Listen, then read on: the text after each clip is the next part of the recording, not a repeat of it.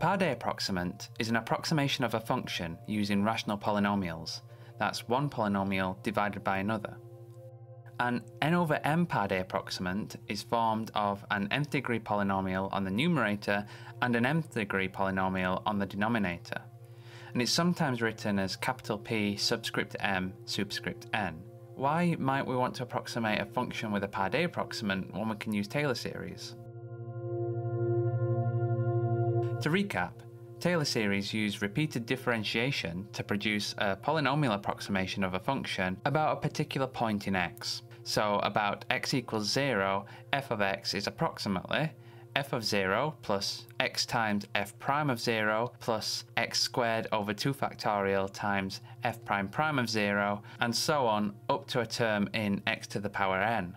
For example, if f of x is equal to e to the minus x, then the Taylor series is 1 plus x times the derivative of e to the minus x at x equals 0, which is minus 1, and so on. The second order Taylor series includes terms up to x squared and is 1 minus x plus x squared over 2. And we have this big O x cubed to say there's some error there because we've not included terms of x cubed and above. If we plot our function e to the minus x and the Taylor series, we see it follows the original function quite well to begin with and then gets worse over time. And it doesn't get better after that. For x bigger than 1, the Taylor series shoots up towards infinity as this x squared term begins to dominate. Meanwhile, e to the minus x gets smaller and smaller with increasing x. And it's unfortunately a general property of Taylor series that they often can't extrapolate the function for very long before rapidly diverging to positive or negative infinity.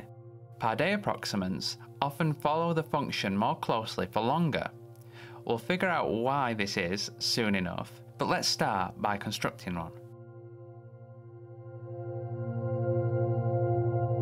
The n over m Padé approximant is constructed to agree with the first m plus n terms of a Taylor series. So if we want a 2 over 2 Padé approximant for sine of x, that will be in the form of a second order polynomial divided by another, and as I say, it needs to agree with the Taylor series of the original function up to n plus m terms. In this case, that's the fourth order Taylor series of sine of x. Now, it just so happens that the x to the 4 term is 0, but that doesn't change anything. Notice I've also included big O x to the power 5 just as a reminder that we can ignore any terms that pop up in the algebra larger than x to the power 4.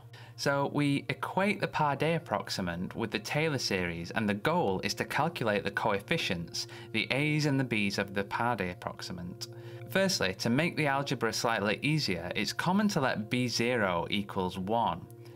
This is without loss of generality. If you'd like to convince yourself that this is okay to do, start by dividing the numerator and denominator by b0, leaving the resulting 1 in the denominator and simply renaming the other coefficients back to their original names. We can then bring the denominator over to the right hand side and multiply out the brackets. We can discard any terms larger than x to the power 4 or more generally, we can ignore terms higher than the degree of the original Taylor series. Now we're left with one polynomial on the left hand side equals another on the right. So now we can solve a set of linear equations to make sure the terms in the like powers of x agree. We have the constant terms which give a sub 0 equals 0, the order x terms which give a sub 1 is equal to 1, terms in x squared, which gives a sub 2 equals b sub 1. And now we've got to x to the power 3 terms, and there aren't any on the left-hand side. So that implies that the left-hand side of this is 0, and that equals b sub 2 minus 1 over 6, or b sub 2 equals 1 sixth. The same with the x to the 4 terms. We have 0 on the left-hand side, and that equals minus 1 sixth of b1 which implies b sub 1 is equal to 0. And we already had a sub 2 equals b sub 1, so this must also be 0. We can then plug these coefficients back into the 2 over 2 Padé approximant, which gives x over 1 plus x squared over 6. Now if we compare the function sine of x to our Taylor series and the Padé approximants, we can see that the Padé approximant stays closer to sine of x for longer. At first, this seems a bit like getting something for nothing.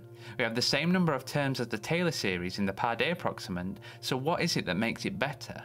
Well, as x tends to infinity, the Taylor series tends to minus infinity, as that minus x cubed term starts to dominate. But since the dominant term in the Padé approximant is 1 over x squared, it actually approaches 0 as x tends to infinity. A much better outcome if we're approximating something like sine of x, which oscillates around 0. And this in general is what makes Padé approximants work so well. Dividing one polynomial by another cancels out that tendency to shoot towards plus or minus infinity. So just to recap, to construct an n over m Padé approximant for a given function, we first calculate the Taylor series up to order n plus m.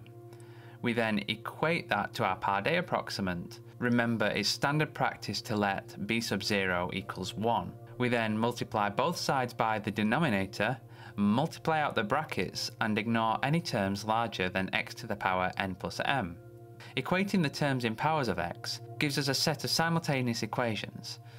The equations might differ slightly, but generally the first n plus 1 equations equate terms up to x to the power n with the a's, and the other m minus 1 equations are the x terms higher than x to the power n and equate to 0. In general, for an n over m Padé approximant, there will be n plus m equations and n plus m unknowns. Thanks for watching, I'll see you next time.